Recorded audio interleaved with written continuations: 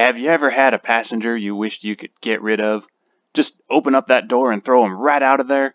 Well, now you can with the new Skydivers feature of the Adventure Pack expansion pack for the Thranda PC6 Turbo Porter.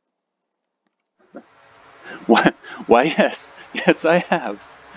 Hey everyone, this is Nojo from Thranda Design. We are, indeed, taking a look at the Skydivers uh, feature of the new Adventure Pack expansion pack for the PC6 Turbo Porter. So to get to the new expansion pack features, most of them, uh, we open up the pop-up, go down to the MISC page down here, miscellaneous, and we see a bunch of options. So we'll just go through these real quick. So skis, we'll toggle skis on and off for snow operations. Uh, we have big tundra tires for rough field operations, and mud flaps to go with them, and those also work with the normal size tires. Down here we have synthetic vision, a new synthetic vision system for the new G1000, which is included in the expansion pack, but the synthetic vision isn't quite ready yet, so it's still coming soon. That'll be in an update. And then uh, down here we have, we can toggle the windows to be big size windows for skydiving operation or small size for normal. And finally, the skydiver mode. So these are pretty cool. When you turn on skydiver mode, you get 10 jumpers loaded in the back of your plane. And these also affect the weight and balance. Uh, we can see each jumper is represented by a parachute icon here. And uh, they've moved the CG aft and the weight up a little bit, and we can see if we turn them off, the plane kind of stands up again or settles. And then over here we have the Skydiver pop-up panel. So this has several options on it. So stay with plane means when we drop a jumper, we're going to stay in the pilot's seat in the pilot's point of view, controlling the airplane. Uh, but if we click down here to join skydivers, then when we drop uh, the jumper, the airplane will turn on a little autopilot to keep itself up in the air, and we'll get to follow the jumper and control them directly, which is really cool. So we also have uh, some other options here. So ID, this is just the number of the jumper, and there are 10 of them, so 1 through 10. And then for each jumper, we have their altitude in feet, vertical speed in feet per minute, their automatic deploy altitude, where they'll deploy the parachute. We have their smoke color, and we can toggle the smoke on and off for individual jumpers by clicking on these, or we can click right below smoke to toggle them all on or all off. So we're going to have them all on to make them easier to see. H is the hue or the color of the smoke, so we can scroll the mouse wheel to change that. Over here uh, under the D is density, so this is the smoke density. 1 is very thick, easy to see, and 0 is very, very thin, hard to see. Uh, and we can individually change those by scrolling the mouse wheel, or we can scroll the mouse wheel up here again and uh, change them all at once. So we're going to leave those on dense so that we can see them. And this is an array of buttons to toggle the parachute. So if you want them to deploy their parachute before their automatic deploy altitude, then you can click here for each jumper, and that'll deploy their chute. And then finally over here we have a depiction of the wrist altimeter that each jumper would be wearing. And for the currently selected jumper, this altimeter will show their altitude in feet. And uh, right now it's jumper number one. And of course it's showing about zero because because we're on the ground and we're at zero.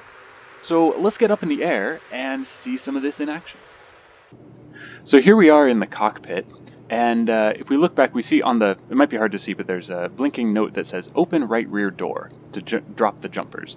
So I can either click on that directly, or I can click here on the door handle, or I could go to the general page and open the door here on the pop-up. But in either way, it's telling us we need to open the door before we can kick those jumpers out. Now the other cool thing, when we loaded the plane, when the plugin loads, it takes note of where our position is, so right there, and that is the target that the jumpers are going to try to land on. So let's just do this. Uh, we're coming up over it. Yeah, we're just about over the target. So we're on stay with plane, so we're just going to watch it from the plane's point of view. I'm just going to hit spacebar a whole bunch and drop out those 10 jumpers. There they go. So you can see that smoke uh, kind of traces their, their path down. And now that would make us free to... Ooh, oh, we can see them forming up. We'll see that up close in a sec.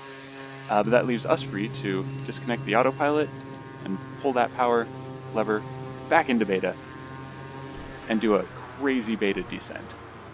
And so there we are, we can kind of see their smoke trail as they're falling down in formation down to their, uh, their starting point. And now that we're a little lower, we can see they've all deployed their parachutes and they're spiraling down over the landing point. And uh, since we're in this PC6, we've got beta, we can definitely beat them down to the ground, which is pretty cool. So here we are back in the cockpit again. This time I've selected Join Skydivers, and we see we have some new keyboard shortcuts that are shown across the top here in white. Uh, they might be a little hard to read in the video, so space will deploy the jumper, C and Shift C move the camera next and previous, E opens the chute, WSAD lets you control the jumper both in freefall and under the parachute, X toggles smoke, and Q will release those shortcut bindings to let you use the, the normal keys of X-Plane. So, uh, we're just coming over the airport. Yeah, we're just over it now. So I'm going to click here to open the right rear door. We see it opens. And uh, I'm just going to hit uh, spacebar a bunch, and we'll start dropping these guys out. Jump, jump, jump, jump, jump, jump, jump, jump. So this guy. So right now I'm not touching any of the controls, and so this means the AI is going to control this jumper for me.